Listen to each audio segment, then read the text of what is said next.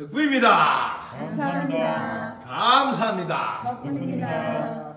여러분 건강하게 살고 싶은 마음은 누구나 똑같죠? 네, 건강하게 살기 위한 가장 기본 건강절을 오늘 소개해 드리겠습니다. 덕분 스쿨 버전이다 이렇게 이해하셔도 되겠습니다.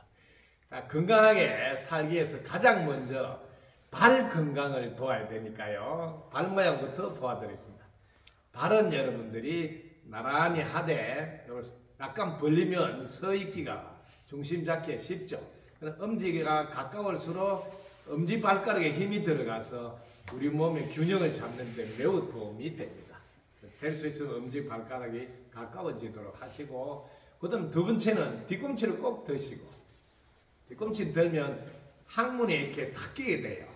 그러면 이렇게 우리 몸에 있는 항문을 통해서 기가 빠져나가는 것을 방기이라는데 항문을 닫으면 축기 됩니다. 네, 축기가 되도록 해서 건강하도록 하는 기본을 먼저 하시면 되겠습니다. 자, 엄지발가락에 힘을 딱 주고 뒤꿈치를 들고 여러분 자연스럽게 항문이 닫혀서 축기가 되고 자, 발 모양은 됐죠? 두 번째 손 모양 하겠습니다. 손은 나와 너가 하나다 이런 뜻으로 모으게 됩니다. 이거는 조상 대대로의 얻은 방식입니다. 불교에서 사용하는 방식이 아니고요. 자, 그 다음에 요 손의 모양은 연꽃 봉우리 모양을 만드는 것은 이유가 있습니다. 우리는 이미 갖추어져 있는 온전하고 완전하고 전지전능하다는 걸 보이기 위해서 이렇게 딱 이렇게 연꽃 봉우리 모양을 만듭니다. 자, 나와 너가 하나고 이미 갖추어져 있다가 됐으니까 그 다음에 우리는 인과 법으로 돌아가는 세상의 삶으로 내가 짓고 내가 받는다는 뜻에서 손끝이 바깥으로 가지 말고 될 수 있으면 자기 쪽으로 향해서 아, 내가 짓고 내가 받는다는 뜻이에요. 그 손을 딱 붙이니까 약간 띄우고 가슴에서 약간 띄우고 이렇게 합니다.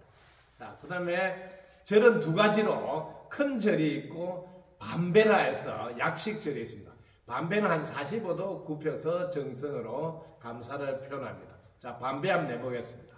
45도 정도 굽혀서 이렇게 네, 이렇게 왜냐하면 간단하게 해야 될 때 혹은 약식으로 해야 될 때 이 반배가 사용이 됩니다. 자, 그 다음에 큰절 보여드리겠습니다. 큰절은 먼저 무릎을 땅에 붙이고 두 번째 손을 무릎 앞에 30cm 앞에 놓고 세 번째 자발 모양을 보시면 발 모양을 불교에서 절할 때 보면 이렇게 포개게 하는데 포개 보시면 보십시오. 포갠 자리가 올라가잖아요. 그러면 이렇게 골반이 틀어집니다.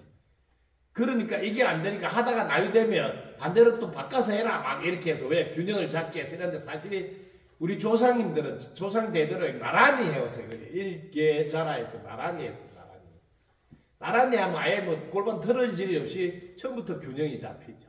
이렇게 나란히 하신다는 거. 그 다음에 엉덩이를 뒤꿈치에 붙인다는 거. 이집 보세요. 자, 그 다음에 이마를 땅에 대. 자, 이럴 때 여러분 자신을 돌아보면 돼. 엉덩이가 뒤꿈치 붙으면서도 이마가 땅에 딱 붙으면 이분은 복부에 지방이 아주 건강하게 적당하게 있다는 뜻이고 무릎을 붙여서 자, 엉덩이가 지금 뒤꿈치에 붙으면서 이마가 땅에 대해서 이게 잘 안 되는 분이 있어요. 그럼 이마를 땅에 대려면 엉덩이가 들리는 분은 지금 건강검진 안 해도 복부 비만이다는 걸 아시고 요 복부의 지방을 살짝 여러분들 예, 본래 자료로 보내주셔야 돼요. 방법은 간단해. 저녁 한 끼를 굶으시면 그냥 본래 자료를 갑니다. 용 안 써도 돼요. 저녁 한 끼만 굶으세요. 그러면 이렇게 아주 건강한 모습으로 절을 할 수 있습니다. 자, 그 다음에 이마를 들고 팔을 쭉 펴고 네, 이때 손을 움직이면 안 됩니다. 어, 손은 그 자리에 있고 팔을 쭉 펴고 고개를 들어주면 보십시오. 허리가 찰룩하게 들어가죠. 여기 뭐예요? 본래 허리를 회복한다 해서 그래. 치유라는 단어를 쓰고 그 다음에 디스크 예방이 된다 해서 예방과 치유가 되는 자세가 저를 통해서 이룰 수 있다. 왜? 허리가 안 좋은 분이 오히려 허리가 치유가 됩니다. 자, 그 다음에 일어날 준비, 발을 딱 발끝을 세우고, 자, 엉덩이를 뒤꿈치에 또 붙이고 합장합니다. 자, 뒤꿈치 붙이고 합장. 이때, 자, 일어날 때 뒤꿈치를 땅에 대지 않고 일어날 때 장단지 근육에 힘이 팍팍 생깁니다. 건강하기 위해서 뒤꿈치 들면서 일어납니다. 와, 이렇게. 예.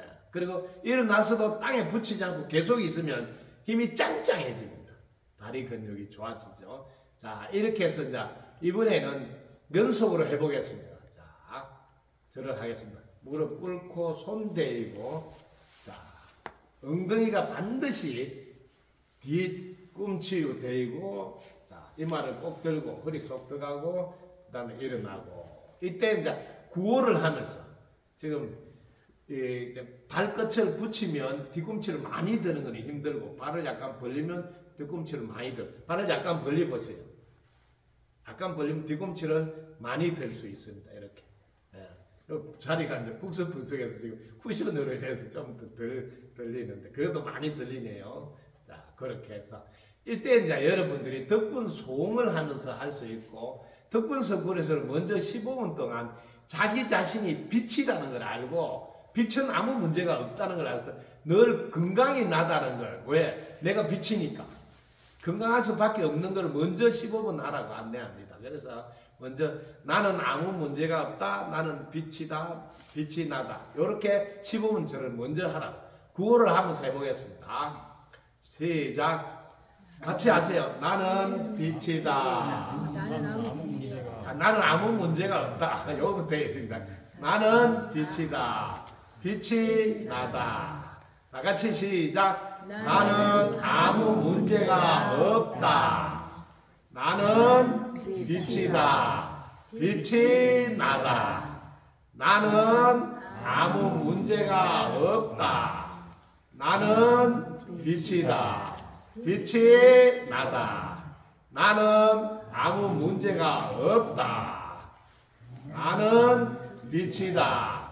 빛이 나다. 이렇게 15분 동안 이렇게 하시고 그 다음에 15분은 여러분이 모두에게 감사를 표하는 감사합니다 덕분입니다 하는 덕분송을 15분 합니다. 다 같이 해보겠습니다. 시작. 감사합니다.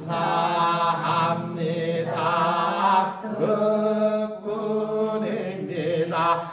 감사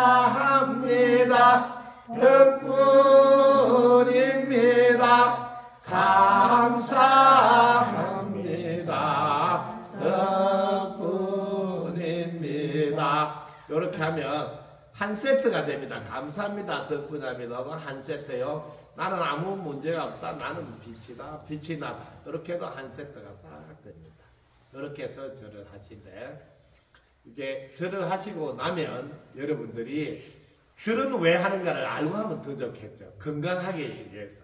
특히 여러분 몸이 벌떡 일어나서 퍼떡 접시 움직이라면 몸이 아주 민첩하게 움직일 수 있도록 만들어져 있어야 하는데 우리 몸의 세포는 건강하도록 되어져 있습니다. 어떻게 만들 때부터 만들 때 어떻게 만들었냐면 고마움으로 만들기 때문에 여러분의 고마움을 표현하는 것을 하면 세포가 생기가 돌고 활기가 넘쳐서 본래 건강한 모습을 회복하게 되니까 혹시 건강이 지금 회복해야 될 분들은 고마운 표현을 안 해서 그렇다는 거 빨리 알고 두 번째 자세가 바르지 않다는 것을 빨리 알고 자세 바르게 건강제로서 건강을 회복하시기 바랍니다. 한번 연속으로 나는 아무 문제가 없다. 나는 빛이다. 빛이 나다. 그 다음에 감사합니다. 덕분이다. 해보겠습니다. 다 같이 소리내서 하도록 하겠습니다. 시작. 나는 아무 문제가 없다. 나는 빛이다. 빛이 나다. 감사합니다. 덕분입니다. 이렇게 세트로 15분 15분 하시면 되겠습니다. 지금 저희 학교 학장을 맡고 계신 담학장님께서 시범을 보여주었습니다. 여러분 큰 박수로 감사합니다. 감사합니다. 감사합니다. 더불입니다.